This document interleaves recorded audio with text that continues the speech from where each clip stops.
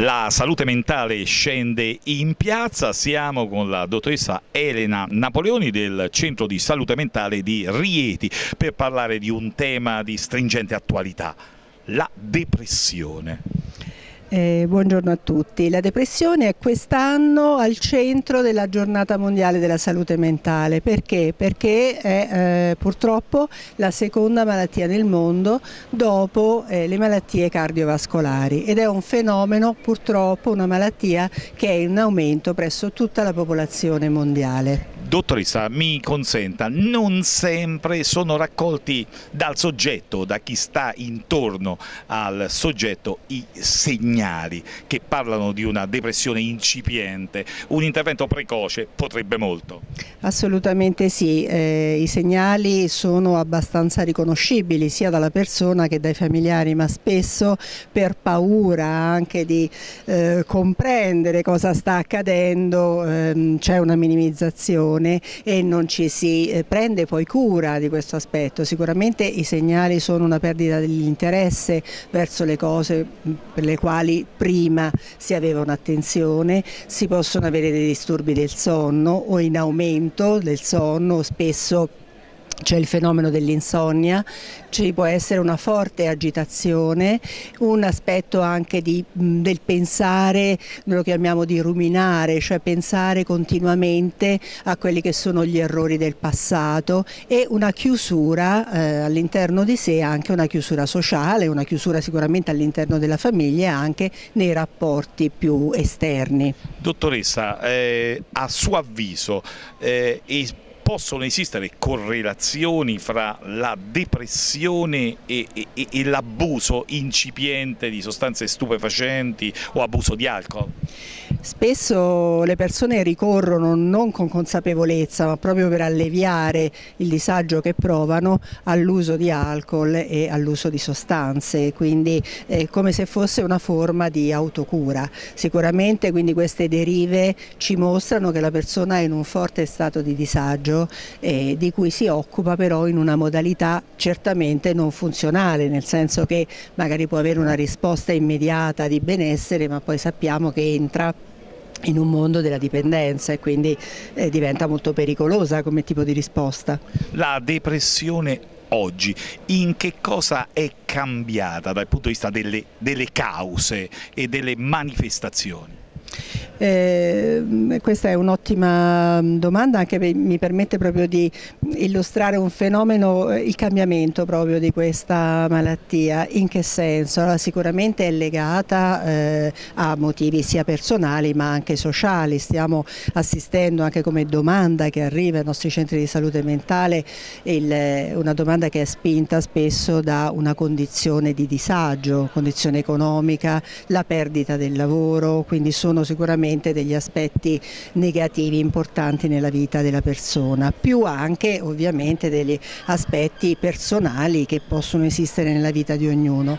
Il modo in cui si manifesta eh, è questa la differenza con, eh, con la depressione del passato. Allora noi avevamo nel passato all'incirca fino a dal 68 possiamo porlo fino agli anni 70 la depressione classica che quindi si verificava così anche nei secoli precedenti, una depressione caratterizzata da fortissimi sensi di colpa, da questo dolore molto forte interno e anche da degli aspetti di autodistruttività ehm, in cui appunto il tema della colpa, della vergogna era il tema centrale.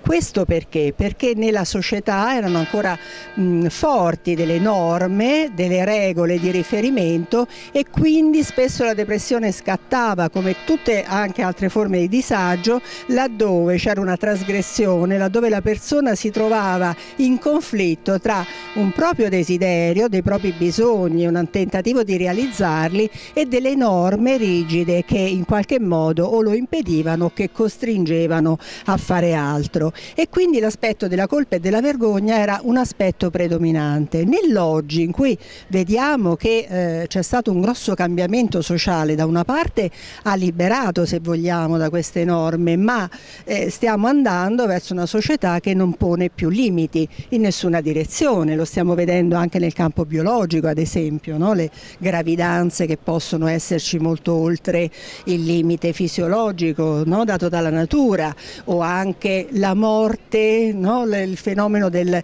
dell'accompagnamento alla morte che è combattuto a volte fino all'estremo con un accanimento terapeutico, no? è come se eh, la chirurgia plastica che eh, trasforma e stravolge a volte completamente il corpo della persona, è come se non ci sia più nulla che possa fermare quello che è un bisogno individuale ed è una società in cui quindi questo viene riconosciuto come un diritto, ma è anche una società che chiede personalmente ad ognuno di impegnarsi, di essere attivo, di essere eh, molto assertivo nella della vita e quindi è una società in cui il successo è basato sulla realizzazione e sul conseguimento di mete. Laddove non si riesce c'è un aspetto di impotenza, di fallimento, di disagio molto profondo e quindi noi vediamo delle persone che sono in crisi perché non stanno riuscendo, non sanno più che cosa sono e dove possono andare. Non c'è più questo senso del limite e quindi c'è un, un ideale irraggiungibile se vogliamo al confronto con questo ideale possono sorgere delle forme depressive molto gravi. No? E quindi abbiamo? Abbiamo anche delle forme ansiose una depressione ansiosa, depressione agitata, oltre agli altri aspetti che vedevamo precedentemente. E chiudiamo, dottoressa, con un aspetto che sappiamo vi sta molto a cuore, che è un ostacolo eh, sicuramente al perseguimento degli obiettivi della salute mentale, lo stigma. Certamente, lo stigma, quindi la vergogna, eh, il senso di colpa che a volte le persone provano nell'essere malate, eh, quindi la vergogna che prova la persona, che provano anche i suoi familiari e che impedisce, eh, ostacola forti, fortemente la richiesta alla cura. Quindi ehm, il messaggio molto forte, molto importante che noi dobbiamo dare è che non ci può essere vergogna se si affetti da una malattia, perché la malattia mentale, lo dice appunto il termine stesso, è una malattia malattia come le altre, deve essere affrontata può essere affrontata, può essere curata, ma se appunto la vergogna e il chiudersi nella casa pensando che non, non si può chiedere aiuto, eh, naturalmente questo impedisce eh, anche una possibilità di risoluzione di questi problemi intervento fondamentale nelle scuole? Certamente stiamo lavorando dal 2009 nelle scuole con vari progetti e, eh, che hanno alla base l'aspetto informativo, portare ai giovani le informazioni sui disagio mentale, su questi problemi e stimolare quindi anche un'attenzione e una sensibilità nei confronti delle persone che ne soffrono ma anche nei confronti di se stessi, prestare attenzione ed essere consapevoli del proprio benessere, della propria salute mentale e di tutto ciò che può contribuire a far star bene.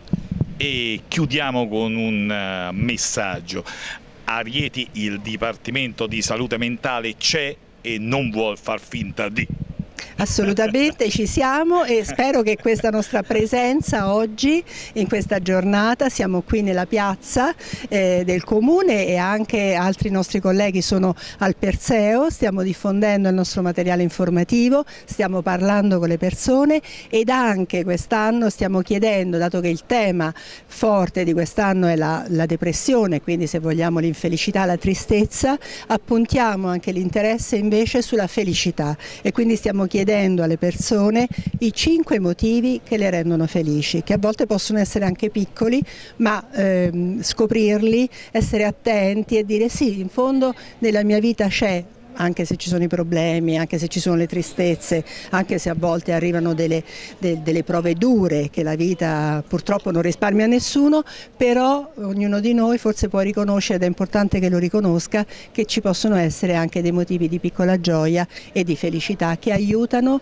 ad essere soddisfatti della propria vita, perché alla fine la felicità eh, come possiamo definirla? Possiamo definirla forse come essere soddisfatti della propria vita, dare un senso alla propria esistenza.